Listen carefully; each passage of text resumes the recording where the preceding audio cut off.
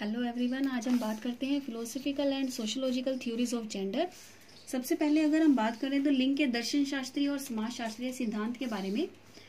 सामाजिक संरचना की अवधारणा को समझने से पूर्व हमें संरचना के अर्थ को समझना होगा क्योंकि संरचना एक जटिल समग्र है, जिसमें विभिन्न इकाइयाँ एक दूसरे से अर्थपूर्ण ढंग से जुड़ी होती हैं। इन इकाइयों में अगर परस्पर हम एकता और निर्भरता होती है, जिसमें कि जैसे विशेष क्रम में अगर जुड़कर एक जटिल सामग्री बनती है तो उसे संरचना कहा जाता है, जैसे चूना, बजरी, मजदूर से मिलकर ही मकान रूपी जो भौतिक संरचना उसका निर्माण कर पाते हैं। जो समाजशास्त्री तथा मानव शास्त्रियों ने परिभाषाएँ भी दी हैं, जिनमें से अकॉर्डिंग टू टोलकट पार्सन्स के अनुसार भी सामाजिक संरचना, परस्पर संबंधित संस्थाओं एजेंसियों और सामाजिक प्रतिमानों तथा समूह के साथ प्रत्येक सदस्य द्वारा ग्रहण किए गए पदों तथा कार्यों की विशिष्ट क्रमबद्धता को कहते हैं कि सामाजिक संरचना समाज की लघु और वृहत इकाइयों जैसे पद, भूमिका, समूह, संस्थाओं, प्रतिमानों और जटिल क्रमबद्ध भी है। सामाजिक संरचना के चार तत्व मुख्य रूप से माने जाते हैं। विभिन्न प्रकार के उपसमूह परिवार जैसे हो गए माता पिता पुत्र, शिक्षक हो गए और सकारात्मक और नकारात्मक मानदंड हो गए। या फिर जनजातियाँ और रीति रिवाज लगा लीजिए। जैसे लिंग की सामाजिक संरचना के मुख्य सिद्धांत है। जेंडर डेवलपमेंट की अगर हम बात करें तो सबसे पहले अगर हम बात करते हैं theories related to gender development यौन विकास के सिद्धांतों की अगर हम बात करें तो तो यौन विकास से जुड़े कुछ सिद्धांतों का प्रतिपादन किया गया है। इन सिद्धांतों के माध्यम से हमें इस बात का ज्ञान होता है कि आयु बढ़ने के साथ साथ यौन संबंधी या यौन संबंधी भेदभाव किसी भी प्रकार का होता है। इन सिद्धांतों की जो संक्षिप्त रचना है हम इनमें करते हैं। सबसे पहले हम बात करते हैं जेंडर स्कीम थ्योरी की, जिसमें कि जैसे कि बोलते हैं यौन तत्व सिद्धांत। इस सिद्धांत के अनुसार बालक की जो यौन पहचान है तथा उसके परिणाम बच्चे में उत्पन्न होने वाले लिंग श्रेणी संगति की जैसे सेक्स कैटेगरी जो होती है, यौन तत्व महत्वपूर्ण भूमिका निभाते हैं। इस सिद्धांत के अनुसार बालक चाहे किसी भी जाति या धर्म से संबंध रखता हो, उस बालक के शरीर में विभिन्न अंगों की बनावट या रंग आँखों के रंग जानने से पहले यह जानना आवश्यक है कि बालक किस यौन से इट मीन्स कि किस जेंडर से संबंध रखता है। नेक्स्ट हम बात करते हैं theory related to cognitive development संज्ञानात्मक विकास विकास का सिद्धांत। इस सिद्धांत अनुसार बच्चे में शारीरिक, मानसिक, क्रियात्मक, नैतिक तथा अन्य प्रकार के विकास के साथ संज्ञानात्मक विकास भी होने लगता है। शुरू शुरू में बालक को अपने बारे में किसी प्रकार का कोई ज्ञान नहीं होता। धीरे धीरे वह स्वयं और दूसरों में अंतर करना सीख जाता है। साधारण भाषा में वह स्वयं के बारे में समझ पैदा करनी शुरू कर देते। हैं दो वर्ष की आयु से पहले तक बालक को अपने आत्म के बारे में कुछ भी नहीं पता होता। वह लड़का है या लड़की है, किस प्रकार उसे स्पष्ट ज्ञान नहीं होता। दो वर्ष की आयु से बालक अपने सेल्फ के बारे में जान हासिल कर लेता है। उसे पता लग जाता है कि वह कौन है, क्या है। इस आयु में उसे यौन पहचान जेंडर आइडेंटिटी के बारे में पता लग जाता है।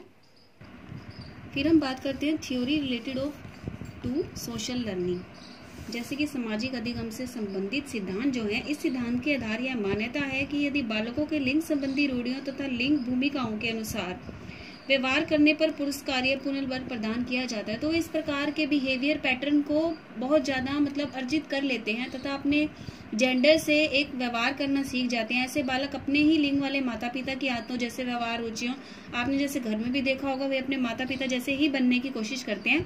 जैसे एक छोटा बच्चा होता है, वो अपने पिता की तरह ही कपड़े पहनना, चश्मा लगाना उसके पश्चात ठीक वैसी ही क्रियाएँ करनी शुरू कर देता है और लड़कियाँ भी अपनी माता की तरह ही खाना बनाना, साड़ी पहनना आदि क्रियाएँ करने लगती हैं। Next one is gender role theory जैसे यौन भूमिका का जो सिद्धांत अगर आता है तो उसके अनुसार लड़के और लड़कियाँ परिवार से युक्त व्यवहार और दृष्टिकोण सीखते हैं तथा संपूर्ण संस्कृत जब वे बड़े हो जाते हैं, तब सीखते हैं इस प्रकार नान शारीरिक यौन, अंतर सामाजिकरण का परिणाम होते हैं। सोशल रोल थ्योरी का यह मानना है कि जेंडर डिफरेंस के पीछे सामाजिक संरचना का शक्ति या बल होता है, क्योंकि सोशल रोल थ्योरी के अनुसार ही बोन सेक्स के बीच मतलब कि जैसे डिवीज़न ऑफ़ लेबर हो गया परिणाम स्वरूप होता है। डिवीज़न ऑफ़ लेबर में जेंडर रोल्स उत्पन्न होते हैं, जिसके अनुसार एक जो सामाजिक व्यवहार है, वो उत्पन्न होता है, जिसमें आकार और शरीर की शक्ति पुरुषों की उन सामाजिक क्रियाओं में श्रेष्ठ ऊपर रखी जाती हैं, जिसमें गुणों की आवश्यकता होती है, जैसे शिकार करना, युद्ध और आदि।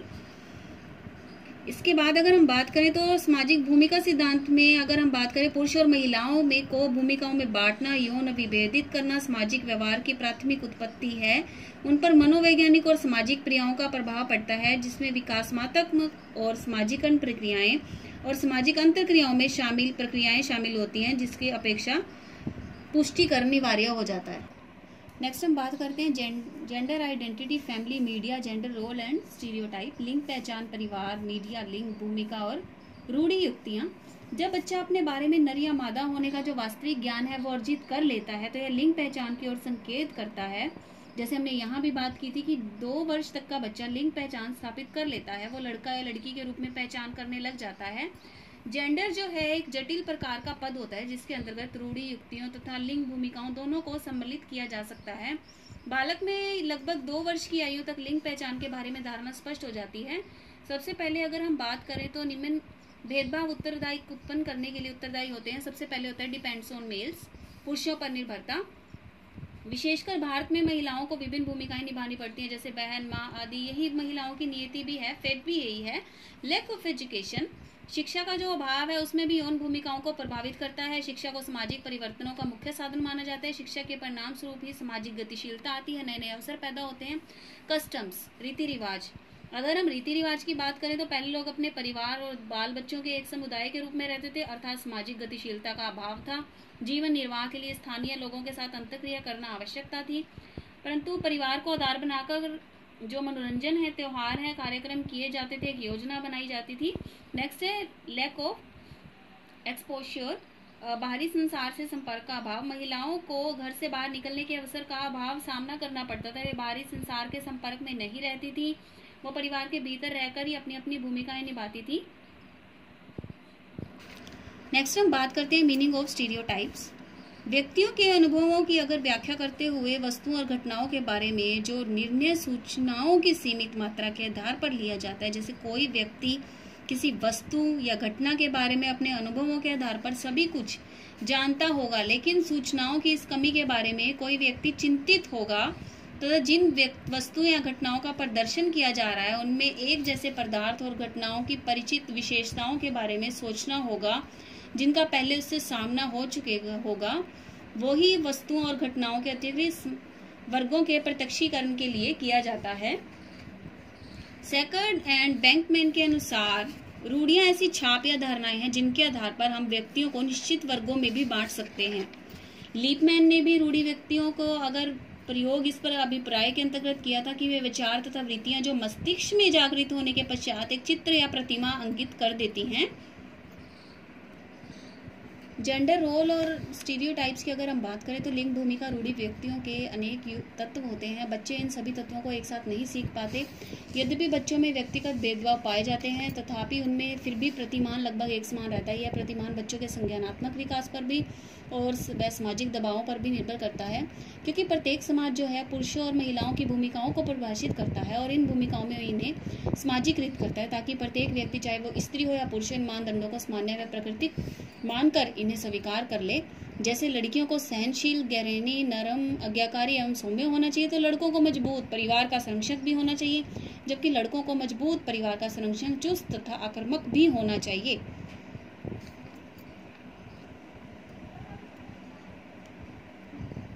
लिंग भूमिका जैसे रूढ़ी युक्तियों का लड़के तथा लड़कियों पर बहुत अधिक गहरा प्रभाव पड़ता है, जिनका वर्णन अगर हम कहें, in well in my opinion अगर हम, मैं कहूँ तो बहुत से समाज जैसे महिलाओं या लड़कियों की तुलना में पुरुष और लड़कों को ज़्यादा महत्व देते हैं।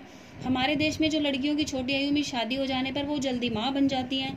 लड़कियों के स्वास्थ्य का अगर लड़कों की तुलना पर कम ध्यान दिया जाता है, लड़कियों के लिए पढ़ाई करना अनिवार्य नहीं माना जाता, क्योंकि लड़कों को शिक्षा की प्राथमिकता दी जाती है।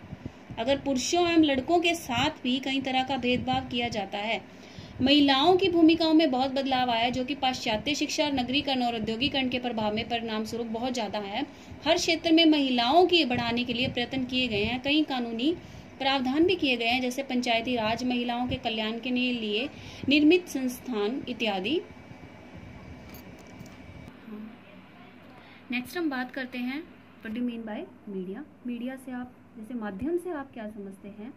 अगर मीडिया की भूमिका को हम कुछ सोचते हैं meaning in gender in stereotypes जैसे कि मनुष्य की उत्सुकता जो है, संचार का एक शाब्दिक अर्थ अगर हम माने तो सामान्य रूप से संचार शब्द को किसी बात को फैलाने या आगे बढ़ाने के लिए अर्थ में ग्रहण किया जाता है। संचार माध्यमों की सहायता बात करते यह शब्द का अर्थ संप्रेषण के रूप में ग्रहण किया जाता है। व्यक्ति के भाव अथवा विचार को दूसरे तक पहुंचाना ही संप्रेषण है।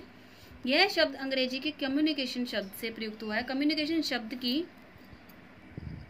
फ़र्स्ट ऑफ़ ऑल हम बात करते हैं मुद्रित जन संचार माध्यम की। मुद्रित शब्द का अर्थ क्या होता है? छपा हुआ या अंकित करना। वैसे तो जो मानव जाति है, इतिहास के आरंभ में बीती चित्रों की प्राप्ति से ही स्पष्ट हो जाता है कि भाषा के लिखित रूप की खोज से पहले ही मनुष्य ने चित्रों के माध्यम से संदेशों के आदान प्रदान का प्रयास किया था। जैसे कि अगर हम बात करें तो मुद्रित जनसंचार जो माध्यमों में दूसरा स्थान में पत्रिकाएँ हैं जो प्राय सभी भाषाओं में छपती हैं। लेकिन ये प्राय दैनिक ना होकर साप्ताहिक, पाक्षिक व मासिक होती हैं। ये पत्रिकाएँ जो हैं, सामान्यतः सभी विषयों पर होती हैं। समग्र रूप से प्रकाश डालने वाली होती हैं।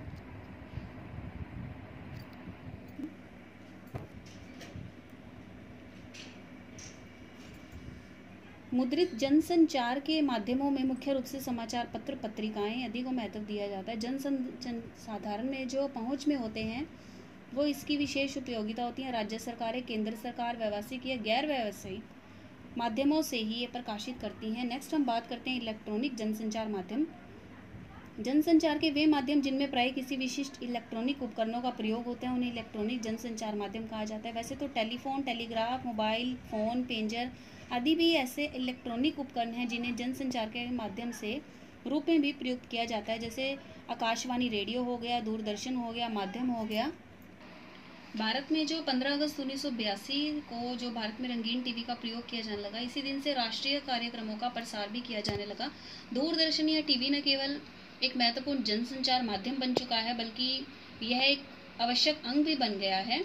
1990 के दशक में टेलीविज़न पर कार्यक्रमों के प्रसारण के लिए निजी चैनलों की भी अनुमति दी गई, जिसमें आज तक स्टार न्यूज़, डीडी न्यूज़ 24 घंटे केवल समाचारों का ही प्रसारण करते थे।